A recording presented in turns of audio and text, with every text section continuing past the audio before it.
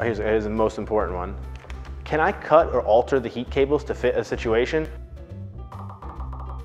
The answer is no. You cannot alter the size or cut the heat cables at all. It's the same thing as cutting an extension cord. Definitely do not.